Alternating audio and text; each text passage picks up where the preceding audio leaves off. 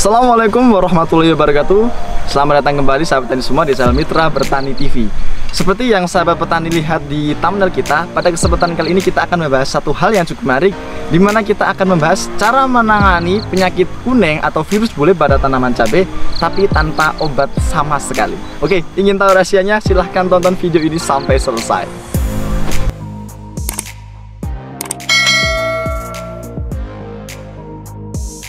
Baik sahabat petani semua, kembali lagi bersama saya Robi Fajar. Dan pada kesempatan kali ini saya sedang berada di lokasi lahan tanaman cabai keriting Yang berlokasi di Kecamatan Dukun, Kabupaten Magelang. Nah, seperti yang saya katakan di awal tadi Di mana kita akan membahas satu cara Di mana hal tersebut mampu untuk mengatasi tanaman kuning. Nah, jika biasanya kita menanam cabai di sini atau sahabat petani semua Pastinya sudah banyak ya yang menanam cabai keriting di sini pasti pernah yang mengalami adanya kasus virus kuning. Nah, virus kuning ini biasanya akan menyerang tanaman ketika tanaman itu sudah hampir mecah pang atau biasanya sudah masuk ke masa generatif. Nah, saya perlu bertanya, sebenarnya apa yang akan sahabat tani lakukan ketika menemui tanaman yang terkena virus kuning? Oke, di sini saya akan mencoba untuk mengangan-angan apa yang mungkin dipikirkan. Yang pertama kali pasti adalah menyemprotnya. Kemudian yang kedua mungkin memotongnya tanaman tersebut. Yang ketiga adalah mencabut tanaman yang terserang kuning.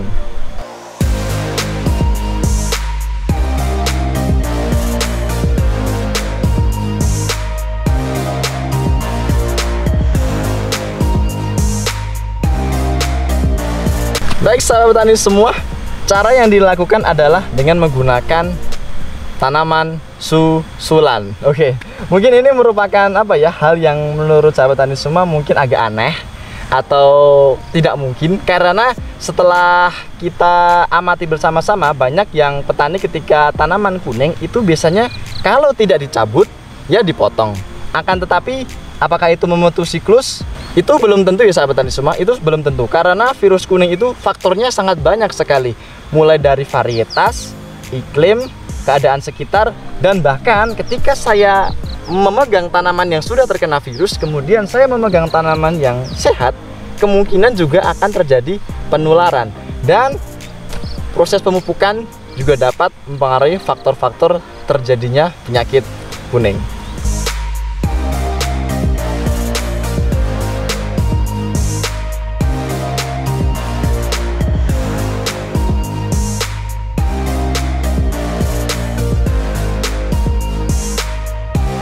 Nah, secara ringkas kita akan membahas tentang penyusulan.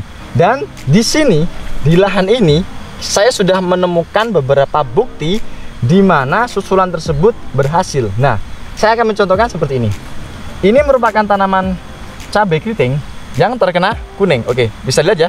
Ini merupakan tanaman cabai yang terkena kuning di lubang ini dan menurut informasi yang saya dapat, petaninya itu tidak langsung mencabut ataupun motongnya karena sayang apabila nanti e, ini masih bisa berbuah tapi dipotong ataupun dicabut. Dan beliau punya inisiatif untuk menanam susulan. Nah susulannya di sebelah masih dalam satu lubang dan hasilnya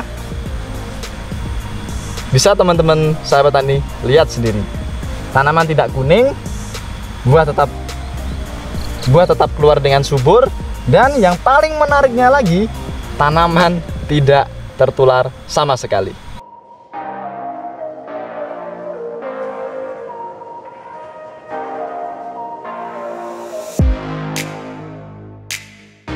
Oke, mungkin sahabat petani semua e, bertanya-tanya di sini ya, apakah tidak menular antara yang terkena virus kuning dan yang kita susulkan? Nah, saya akan coba menjelaskan di sini adalah hasil dari pengamatan saya di lahan ini dan alhamdulillah selama saya berkeliling di lahan ini yang tanaman terkena virus kuning dan disusuli oleh tanaman yang baru belum ada yang tertular. Sekali lagi belum ada yang tertular. Nah hebatnya lagi yang terkena kuning ini merupakan satu varietas di mana yang kita susulkan. Jadi ini satu varietas ya. Nah ini masih dalam satu lubang yang sama di mana ini yang terkena virus kuning. Nah, ini kerdil ya sahabat tani semua. Dan yang besar ini merupakan hasil dari tanaman susulan tersebut.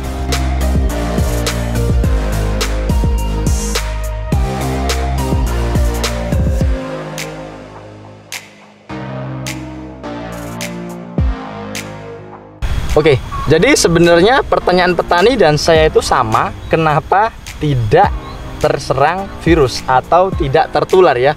Nah, jadi menurut statement para petani adalah ketika tanaman sudah terkena virus, itu sel-selnya akan rusak.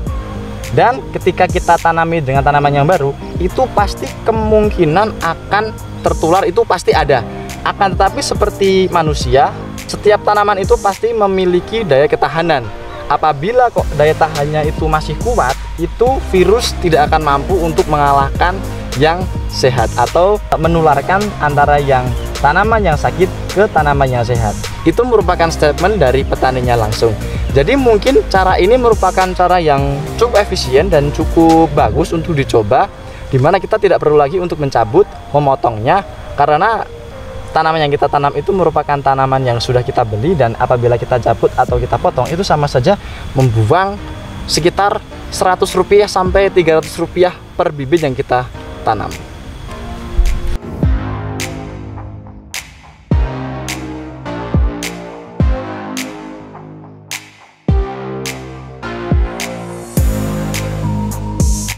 Baik sahabat tani semua, dan sosok pemilik lahan ini yang telah menginspirasi kita adalah Bapak Rudi. Oke, di sini Bapak Rudi ya, ternyata uh, lahan ini merupakan lahan kedua ya Pak ya.